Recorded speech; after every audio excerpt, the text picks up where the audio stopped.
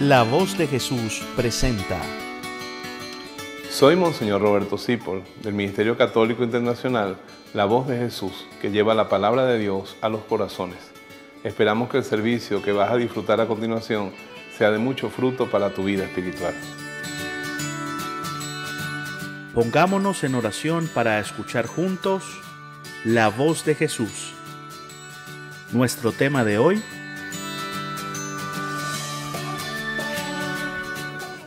Una vez Jesús estaba orando solo en un cierto lugar.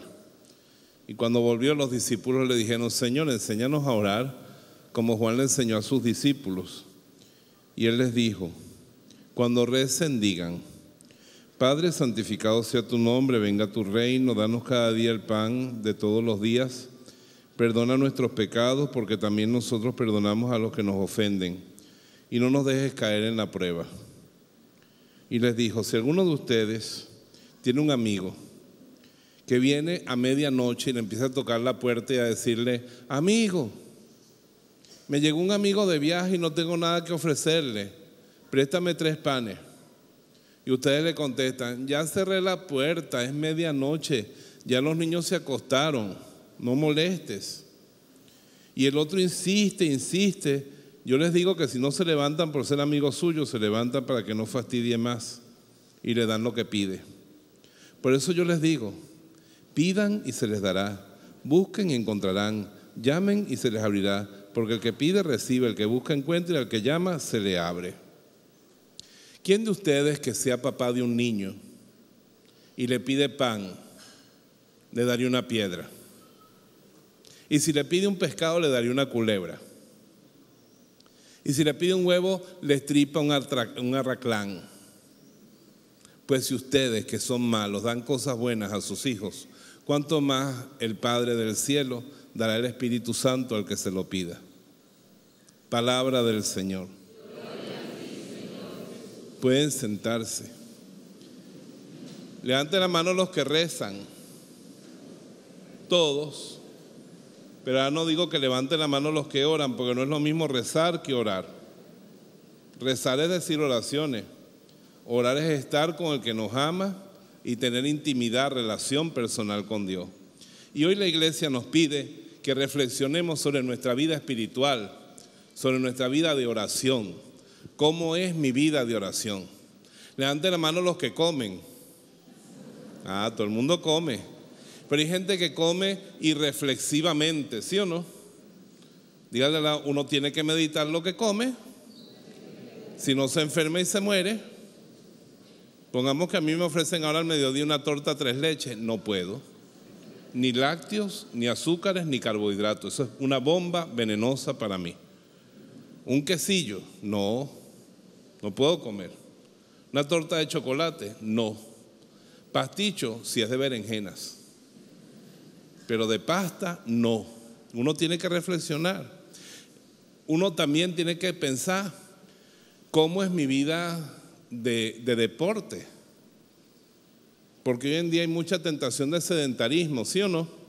Estamos sentados ahí con el teléfono y nos podemos relacionar con millones de personas, sentados frente al televisor, sentados viendo una película. Y hay que moverse, porque el que no se mueve, ¿qué le pasa? Le salen coágulos en las piernas, ¿no es así? Se enferma, se muere.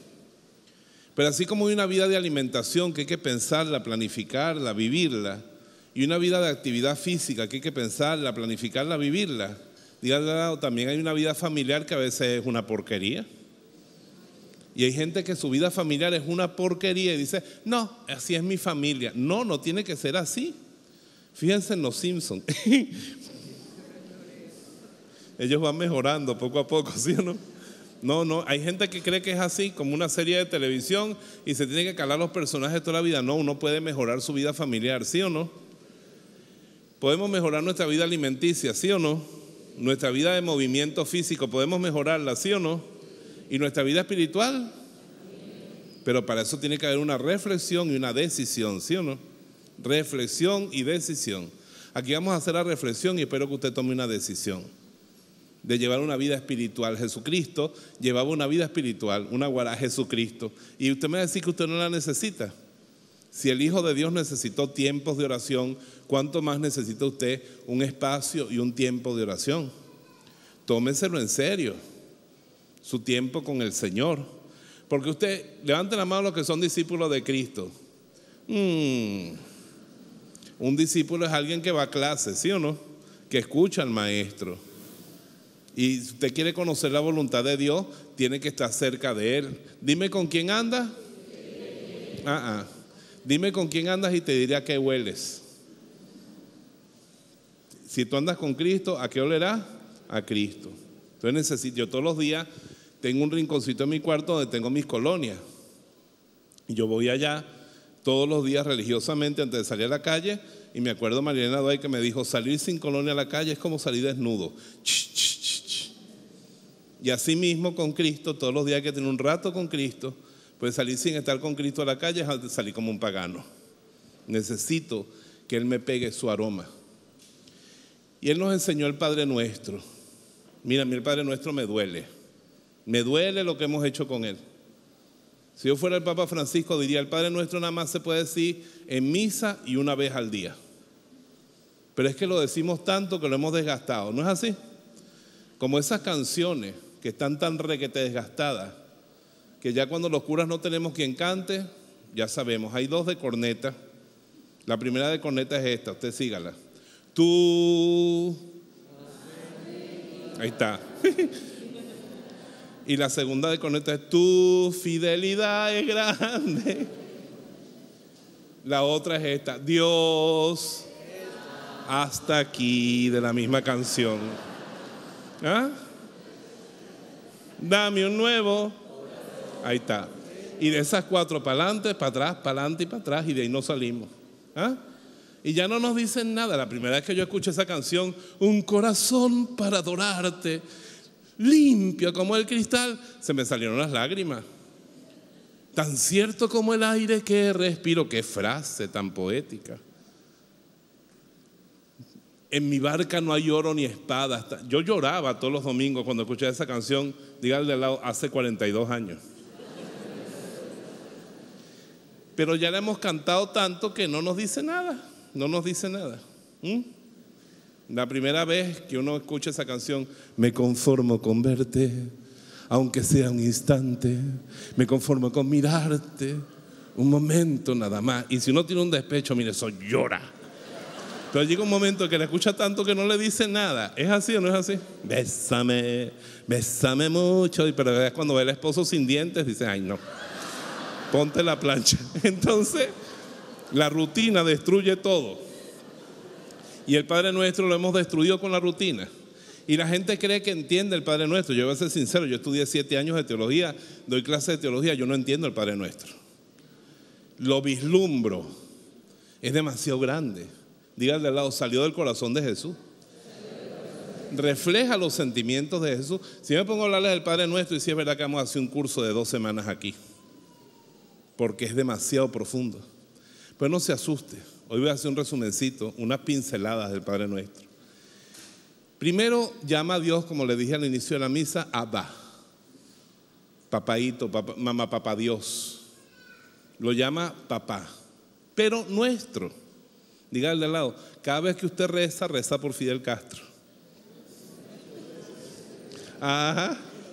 Sí, Padre nuestro incluye a Fidel Castro incluye a Obama, incluye a todos los miembros de ISIS, incluye a su mamá, a su suegra, incluye a su nuera, incluye a la que anda con el marido suyo, esta también está ahí, todo el mundo. Los, guerrilleros, todos están ahí. El que le robó, el que le quitó aquella casa, sí, también. Y su cuñada que se quedó con la herencia, también. Entonces, eso es una oración arriesgada. Pues tú vas a rezar por todos. Cada vez que decimos Padre nuestro, el corazón nos debería hacer así y cabe todo el mundo ahí. Porque es nuestro y significa yo soy hermano de toda esa gente. Del que me gusta y del que no me gusta. Es una oración de amplio espectro, poderosísima. Que estás en el cielo, santificado sea tu nombre. Eso tiene un gran significado. Hay una frase en un salmo que a mí me pega muy duro cada vez que lo rezo, que dice, Señor, que por mi causa tú no seas avergonzado. Porque mira de la cara al de al lado, el nombre de esa persona ha sido humillado. Cuando hablan mal de él, con razón o sin razón, humillan su nombre, ¿sí o no? Y la gente humilla el nombre de Dios, pone dudas sobre el nombre de Dios cuando se porta mal. Y no me refiero aquí solamente a portaditas mal como las tuyas y las mías. Mi paisano Adolfo Hitler, ¿verdad? Mató 6 millones de judíos. Y cuando mató toda esa gente, y testigos de Jehová, y alemanes disidentes, y sacerdotes católicos, el Papa Benedicto XVI fue a Auschwitz, donde mataron a tanta gente y llegó al paredón donde mataban gente, seres humanos, como se matan vacas en un matadero todos los días. Y el Papa Benedicto XVI, uno de los hombres más sabios y más santos de la historia de la Iglesia Católica, se arrodilló frente al paredón y dijo con lágrimas en los ojos, ¿dónde estabas tú, Señor? ¿Dónde estabas tú? Porque cuando el mal se cierne, ofende el nombre de Dios. Y cuando decimos santificado sea tu nombre, significa que no haya corrupción. Porque cuando las personas se cogen el dinero que es de servicio público y se lo roban, y las personas entonces van a un hospital y no tienen quien lo atienda, o en una escuela hay goteras y no hay nada que comer en el comedor de la escuela, allí se atenta contra el nombre de Dios. ¿Es así o no es así? La corrupción. Cuando un matrimonio no se cuida, por eso dice la gran filósofa maracucha Lila Morillo, el que tenga un amor que lo cuide, que lo cuide.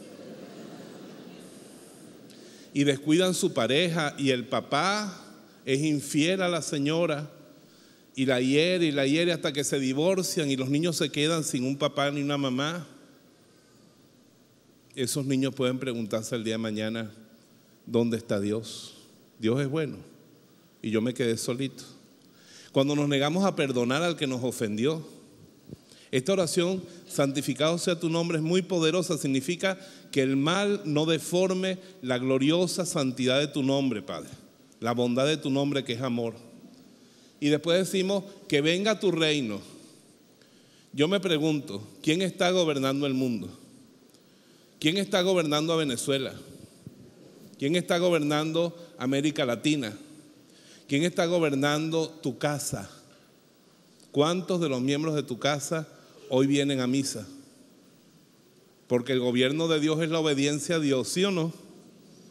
Que venga tu reino. Es más, ¿quién te gobierna a ti? ¿Quién me gobierna a mí? Yo me doy cuenta de que de vez en cuando yo quiero que Jesús sea mi Señor y le doy golpes de Estado cuando quiero hacer mi voluntad. ¿Sabe cuál es el himno nacional del infierno?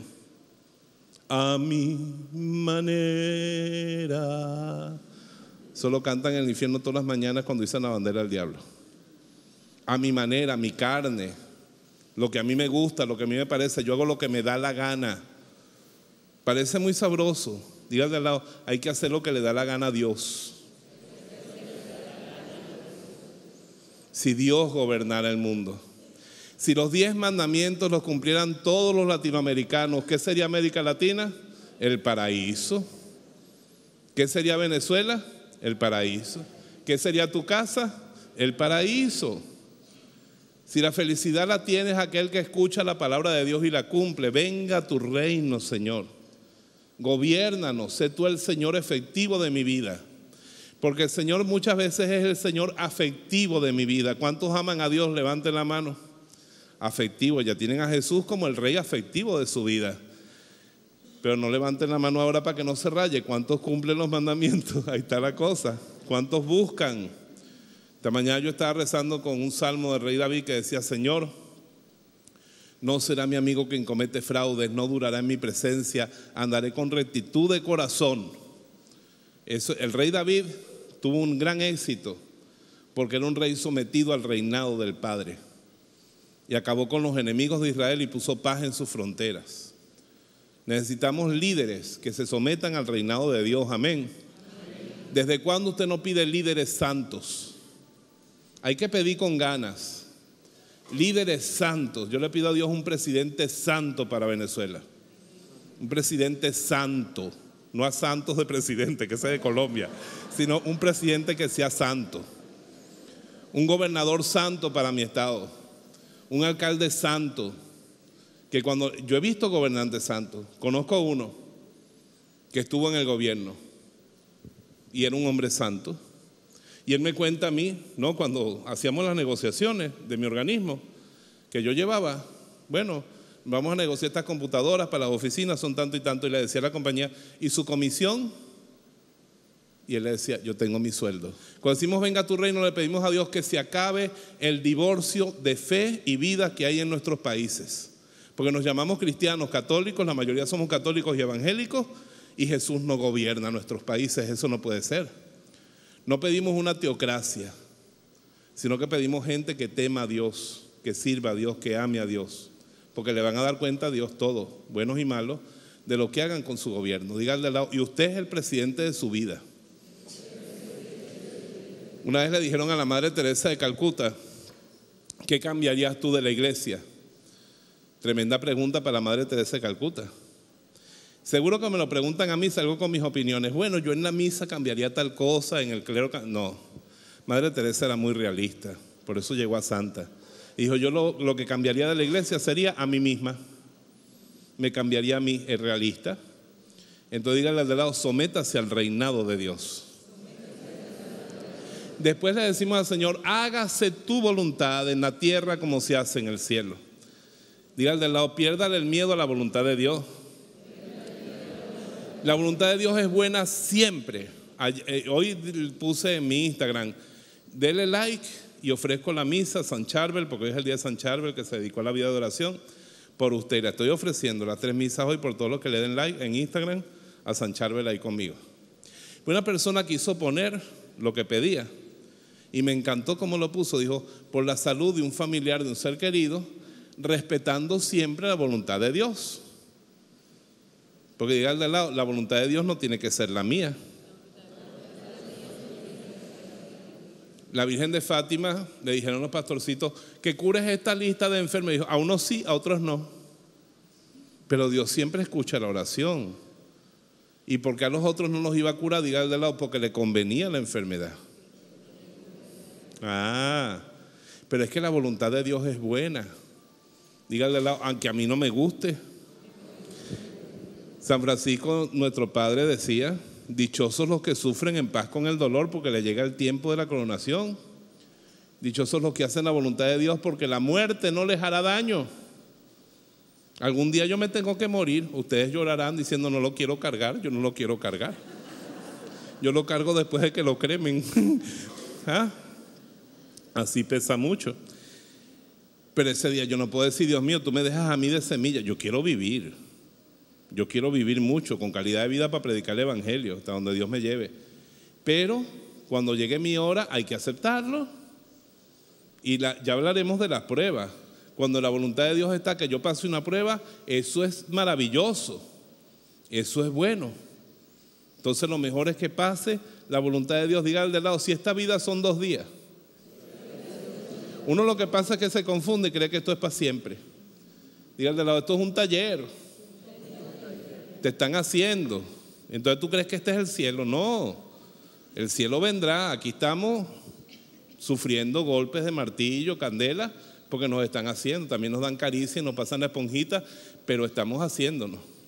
Señor, danos hoy el pan de cada día. Esto es tan bello. Primero nos lleva a la simplicidad. Dígale al lado, menos es más. La simplicidad. Mire la cara al de al lado.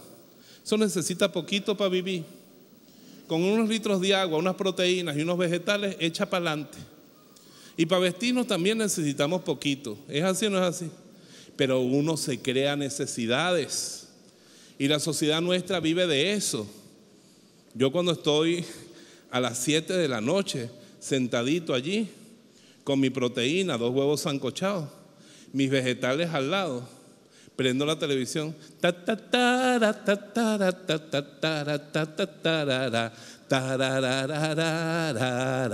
Arturos.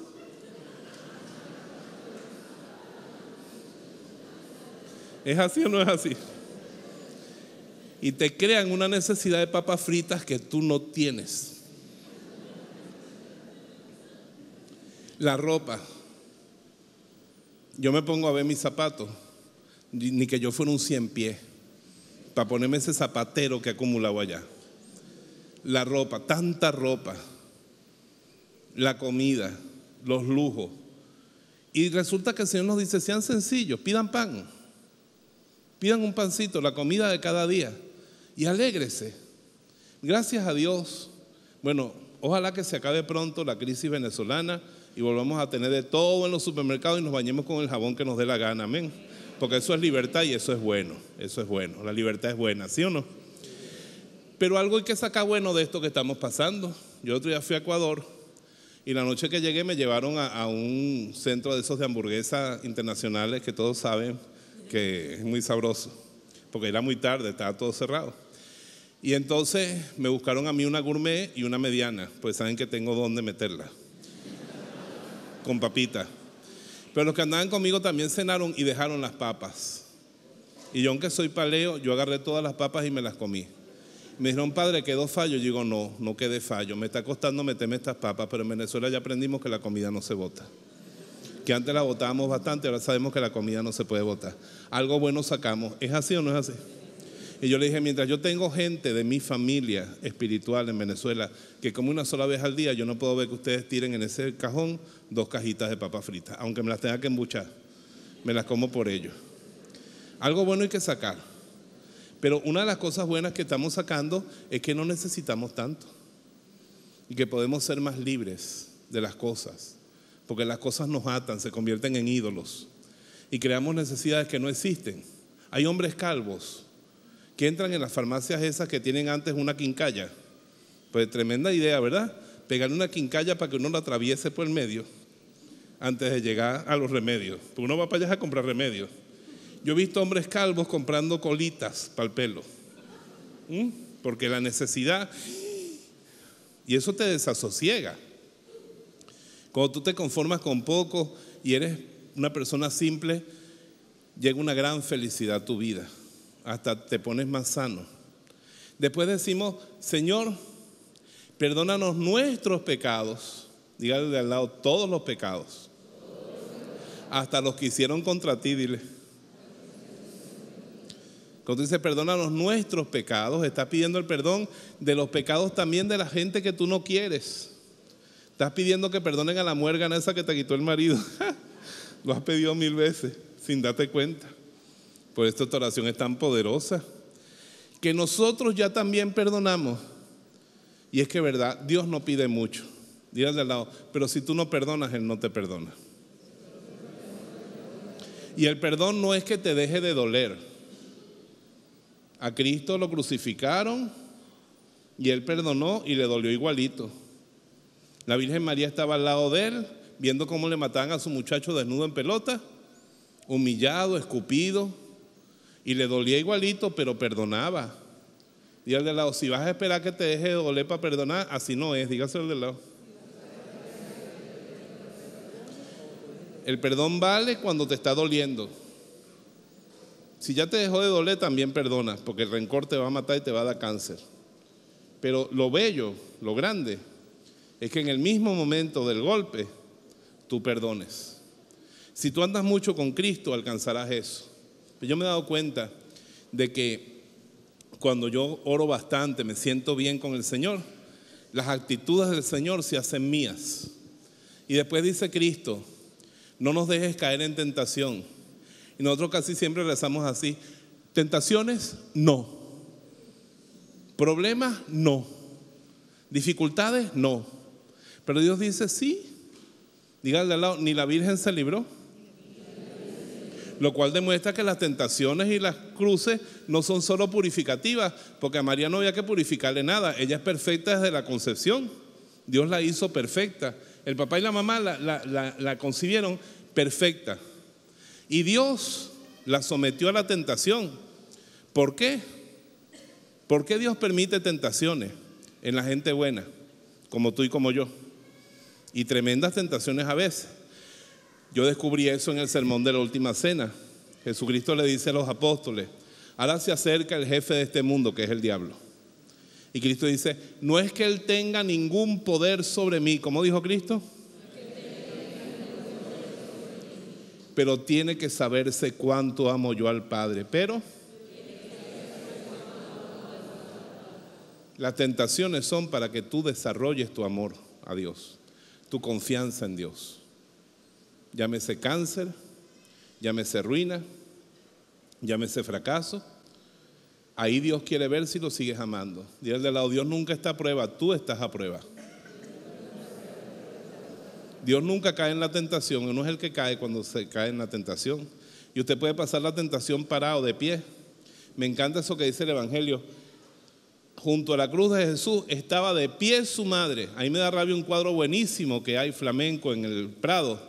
Es bellísimo, me gusta el cuadro, pero me da rabia. Pues ponen a la Virgen desmayada entre dos mujeres ahí.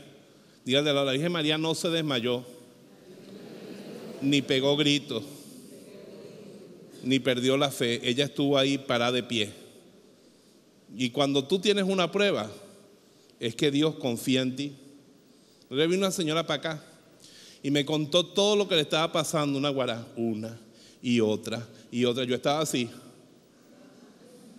Yo decía, esta señora le vende su vida a un productor de Disney y sacan una cadena de sucesos desafortunados parte 2. Porque de verdad que le cayó, pero la, la pava con agua caliente. Cuando yo me paré y le digo, señora, por favor, póngase de pie, la felicito. La pobre mujer, digo, el cura enloqueció de todo lo que le conté. ¿Y por qué me felicita? Digo, porque usted es una mujer fuerte o yo. Pues para que Dios nuestro Señor, que lo mide todo, le permita a usted esa gandola de cruces, es que usted puede con todo. Usted es una Schwarzenegger espiritual. Y de hecho, la mujer lo es, amén. Porque la Biblia dice, ninguno será probado por encima de sus fuerzas. ¿Cómo dice? Dios al de al lado, Dios conoce tu nivel de estrés. El nivel de estrés, los ingenieros que están aquí, no es así, saben qué es, cuánto puedes soportar. Y si te ha tocado duro, es porque tú eres grande, es porque Dios te hizo fuerte. Pero la Biblia también dice, con la prueba les daré la salida. ¿Cómo dice? O sea que Dios nos ofrece siempre una salida y al final dice, líbranos del maligno. Porque como dice el Papa Francisco, el diablo existe. El diablo no tiene cachos ni cola. Lo tendríamos metido en el zoológico de Maracay pasando trabajo con los monos. No como harán padres con esos animales allá. Entonces, y, el diablo existe. Y él quiere destruirnos. Y Jesús, por eso diga al lado, cada Padre nuestro es un exorcismo. A mí me viene la gente, pues yo tengo, yo fui exorcista mucho tiempo y tengo fama de exorcista, el conjuro. ¿Eh? Pero resulta que yo digo, la gente no se da cuenta que ellos se pueden hacer un autoexorcismo rezando un buen Padre Nuestro. Pero cuando uno dice al Padre, líbranos del mal, el Padre nos libra del mal. Amén. Lo que hace falta es una pizquita de fe. Entonces ven, un Padre Nuestro no es cualquier cosa, es sentarse a meterse en cada palabra.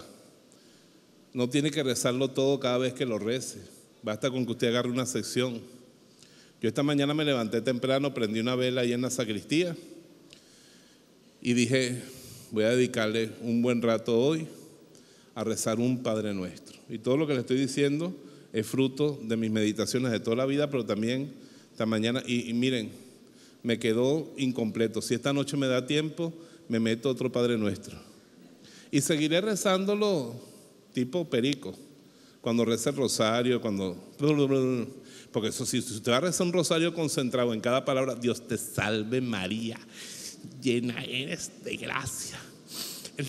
va a terminar loco para bárbula. Ahí nada más tenga el corazón con Dios, no se concentre tanto. Que Santa Teresa decía, la cosa no está en pensar mucho, sino en amar mucho. Pero también dice San Benito que cuando rezamos tratemos humildemente de que la boca concuerde con el corazón, no con la mente. Que la boca concuerde con el corazón. Y si con la mente también, mejor. Pero vemos que el Padre nuestro es una riqueza espiritual inmensa y Jesús nos la da hoy en el marco de esa enseñanza tan bonita de que la oración siempre es efectiva. Dígaselo al de al lado. Yo descubrí que el Tyler nos da sueño. Y entonces yo lo que hago es que desde las 4 de la tarde ya no tomo café, ni Coca-Cola, ni Pepsi-Cola, ni nada de eso. Y cuando llega la noche, me meto dos Tylenol y ¡pum! Cuando estoy fallo de sueño. Es efectivo para mí. Lo he comprobado. No lo haga sin preguntarle a su médico. Esto va a salir por televisión. Pero le quiero decir a usted, la oración es efectiva como una medicina que le pega bien. La oración es un tiro al piso porque toda oración llega al corazón de Dios. Y termino con esto. Yo me pregunté por qué las bodas son tan raras. Porque tengo que hacer bodas casi todos los sábados. Y es, ¿tú recibes a Mamerto como tu marido? Sí. ¿Te entregas como su mujer? Sí. ¿Lo aceptas como tu marido tres veces? ¿Tú recibes a Mamerta como tu esposa? ¿La quieres como tu esposa? ¿Te la llevas como tres veces? Digo, ¿para qué le preguntan tres veces? Hasta que me di cuenta que eso viene de los hebreos. La cultura hebrea cuando va a decir que algo es verdad, verdad, lo dice tres veces. ¿Cómo le dicen los ángeles a Dios que lee? Santo, santo, santo. ¿Ves? Tres veces. Bueno, Cristo te dice, pidan, busquen, llamen, porque el que pide, el que busca, al que llama, diga de lado, doce veces. Porque son seis binarios. Te lo dijo doce veces, que eso es segurito, que Él no desatiende. Dígale de la reza y ponte a esperar. Pero reza bien, o sea, tú prepárate, piensa quién se lo vas a pedir, ve lo que le vas a pedir y una vez que lo pidas, siéntate a esperar, que tú te vas a quedar con la boca llena de alabanza cuando Él te responda. Amén. Y siempre da cosas buenas. Para los que servimos a Dios y a la iglesia en la voz de Jesús, es un gran gozo que tú hayas recibido el don de la palabra de Dios y esperamos que dé mucho fruto en tu vida y en tu corazón. Y te bendigo en el nombre del Padre, del Hijo y del Espíritu Santo. Amén.